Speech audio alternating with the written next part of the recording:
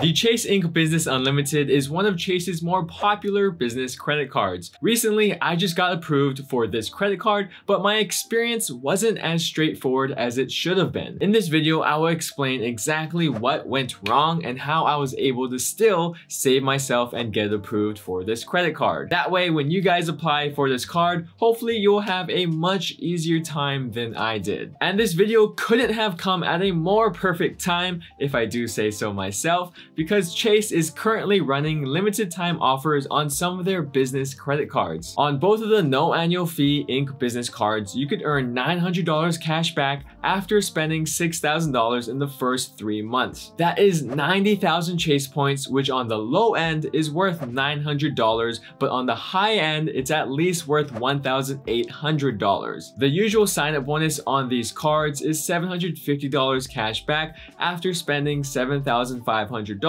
in the first three months. Not only are you getting $150 to $300 more value with the new offer, but you also have to spend $1,500 less to hit the minimum spend requirement. With that being said, that's why it's a perfect time to apply for these credit cards, especially if they've been on your radar for some time or if you are on the fence about it. And if you'd like to support my channel and learn more about these cards, you can check them out in the links down below. But don't look yet because I still need to help you get this credit card. Usually the major obstacle that a lot of people ask about is how do you get a business card without owning a business.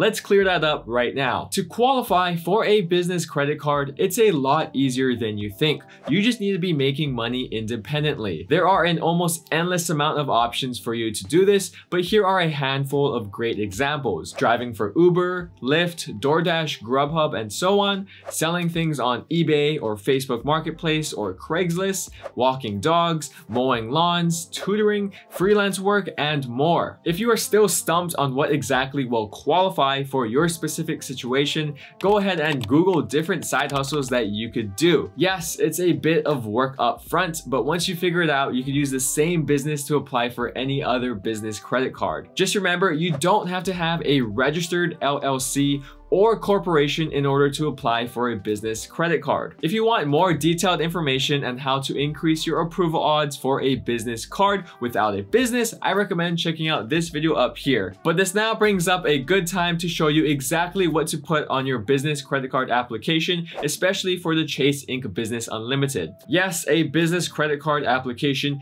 is different from a personal credit card application, so let me show you exactly how to fill one out right now. If you already have a Chase account, that's great. Just make sure to sign in before you start the application. If you don't have a Chase account, that's also okay. You just have to fill out more fields about your personal information. Here is what the Ink Business Unlimited credit card application looks like if you apply as a guest, aka if you don't already have a Chase account. The only thing really different is you just have this personal info section that you have to fill out here, whereas if you're signed in with your Chase account, they will already have this information. I'm going to skip this section because because it's just filling out basic info such as your name, address, income, and etc. But as you scroll down, you have the business info section where you need to pay close attention to what you are entering. For the legal business structure, most of you will select sole proprietor. This goes for all you resellers, tutors, Uber drivers, freelancers, and so on. If you don't actually have a business or business name, you will be a sole proprietor and your name will be the business name. But of course, if you do have an LLC or corporation and so on, select that instead. Then go ahead and enter the business legal name and business name that you want printed on your actual credit card. Like I mentioned earlier, if you selected sole proprietor, usually you would just enter your name here again. Does your business use another name like a trade name, assumed name, or DBA? Probably not, so select no. Again, if you selected sole proprietor, you will then select social security number and enter your personal social security number right here. This is important because if you don't have a business credit card right now, you don't have business credit. Therefore, Chase will be checking your personal credit score. And if your personal credit score isn't at least 700, then just stop filling out the application because you want to focus on increasing your credit first. The next section is pretty straightforward and then we arrive at at the final steps of the Ink Business Unlimited application where things get serious. Here is where you put your business established date, estimated revenue, business category, and estimated monthly spend for your business. Sometimes you won't find the exact business type that pertains to you on this list, and that's okay. For me, I just Googled which NAICS code I should have for my specific business, and you could do the same as well. After filling this section out, all that's left to do is hit submit and sign your life away to the devil, but also make sure to hit the subscribe button while your application processes. Hopefully, you will get an instant approval, but unfortunately, I was originally denied. I didn't even get the hold on, we need to look into this further message. I received the straight up, we don't want you. Of course, it never feels good to be denied, especially since I talk about credit cards so much,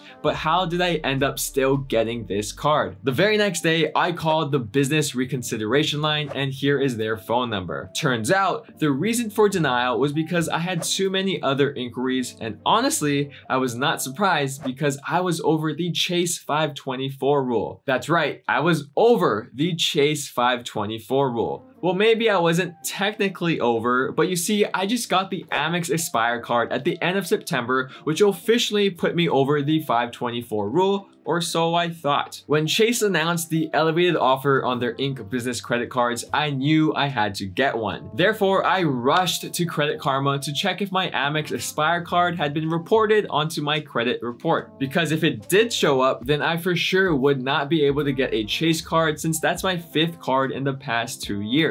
But to my surprise, I couldn't find it on that credit report. So to be extra sure, I checked my credit report with Experian and still no Amex Aspire card to be found. Since I couldn't find it anywhere, I knew I had a chance and that's why I decided to take a calculated risk and apply for the Ink Business Unlimited. Anyway, I spent almost an hour on the recon line, but for most of it, I was placed on hold. The only real question that she asked me was what do I do for my business? Of course, I told the truth and what I put on my application, which was to make videos on the internet talking about credit cards. Then after waiting on hold for a little while longer, she approved me. All in all, it was a pretty easy process, but here's what I think helped me get approved and can help you get approved as well. First off, since the Amex Aspire card did not show up on my credit reports, I don't think it counted towards the 524 rule just yet. The reason being is that it's a new credit card and just wasn't reported to any credit bureau yet. I'm if I applied for a Chase card a few months from now or even right now, I would have gotten denied. Another tip that may help is that I have a few other Chase credit cards. I actually have four personal Chase cards to be exact. The Chase Sapphire Preferred, Chase Freedom Flex, Freedom Unlimited, and Amazon Prime card. But the most important tip, especially if you don't have any other business credit card yet, is to make sure you have a solid personal credit score. My credit score at the time was around the 750 mark and I have had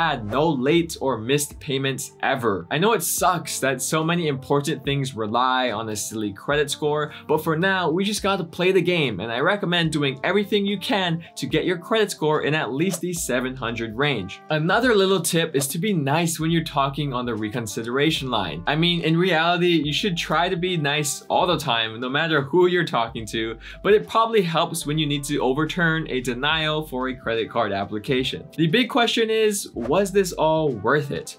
The Chase Ink Business Unlimited is a no annual fee credit card, and since it's a business card, it won't take up a slot in the Chase 524 rule. Therefore, I really don't have anything to lose from applying for this card, except for maybe a hard inquiry on my credit. But more importantly, I have so much to gain from being approved, like the all-time high 90,000 Chase point sign-up bonus and the unlimited 1.5% cash back. Now I have to get back to trying to hit that minimum spend requirement because $6,000 is still a lot of money. And while I do that, you could find the details on how to increase your approval odds for any business credit card application here. Other than that, thank you guys so much for watching and I'll see you in the next one. Shoots!